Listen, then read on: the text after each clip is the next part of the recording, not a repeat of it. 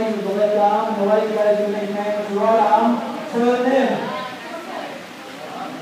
Meet your partner by the right arm in the middle, turn down the middle, turn the next in the line down the left. You get the back one.